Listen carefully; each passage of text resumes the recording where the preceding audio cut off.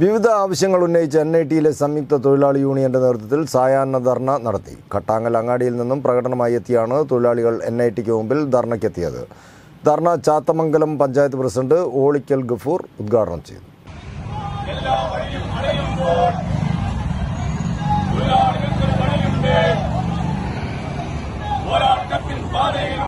N I ടിയിലെ സംയുക്ത തൊഴിലാളി യൂണിയന്റെ നേതൃത്വത്തിലാണ് ധർണ സംഘടിപ്പിച്ചത്.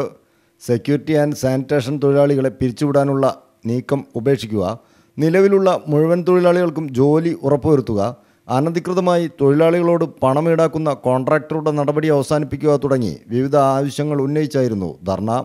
കെട്ടാങ്ങല്ലങ്ങാടിയിൽ നിന്നും പ്രകടനമായാണ് തൊഴിലാളികൾ ധർണയ്ക്കെത്തിയത്.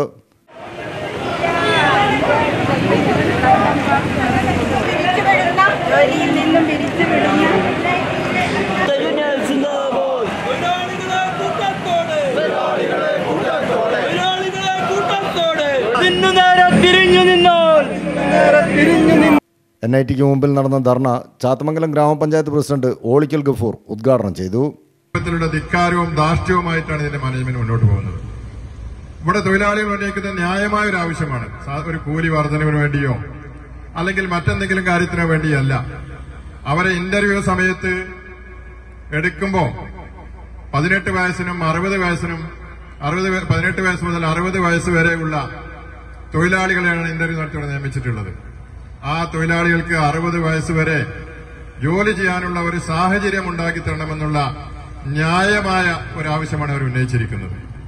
ഈ ആവശ്യത്തിനെതിരെ നിങ്ങൾ എന്തെങ്കിലും നടപടിയുമായി മുന്നോട്ട് പോയാൽ ഈ തൊഴിലാളികൾ മാത്രമായിരിക്കില്ല. ഈ നാട്ടിലെ മുഴുവൻ ബഹുജനങ്ങളും ആ തൊഴിലാളികളോട് സംരക്ഷിക്കുന്നതിന് വേണ്ടി രംഗത്തിറങ്ങുമെന്നുള്ള കാര്യത്തിൽ യാതൊരു തർക്കവുമില്ല. എൻ. രവീന്ദ്രൻ ധർണയിൽ അധ്യക്ഷത വഹിച്ചു. വിവിധ ട്രേഡ് യൂണിയൻ നേതാക്കളായ Jayaprakash Rajesh Srinivasan Lalan Vinod Kumar Sudhakaran T K Manoj Kumar K K തുടങ്ങിയവർ. ധർണയിൽ സംബന്ധിച്ചു. News bureau Mukkam.